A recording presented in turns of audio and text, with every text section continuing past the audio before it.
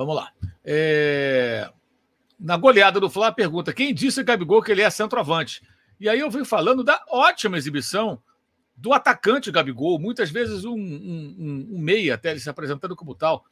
Ou seja, o jogador que distribuiu jogadas, deu passes, deu um passe espetacular para o Pedro, mas aí a jogada não resultou em gol, deu assistência para Everton Cebolinha, é, serviu é, também a, ao, ao Arthur Vidal na linha de passe na área do Maringá no sétimo gol. Eu até finalizei. Gabriel Barbosa tem gol no nome, mas Gabigol é atacante dos melhores, mas não é centroavante. Por que eu escrevi isso?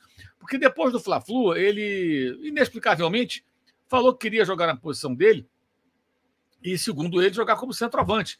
Só que ele não é centroavante, ele é um atacante. Centroavante é o Pedro, que meteu quatro. Quatro.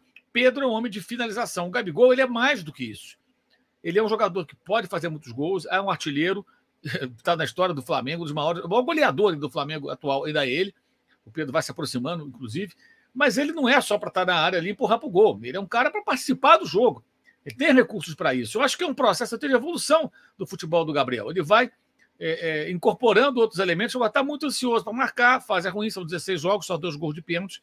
Tem que voltar a marcar com bola rolando, mas é um jogador que alguns torcedores andaram criticando, pedindo para ir embora do Flamengo. Eu acho uma loucura. É, quando ele de repente erra, a gente critica tal pontualmente, mas daí a limar e ignorar a história é, é, do, do, do Gabigol no Flamengo é uma piada. O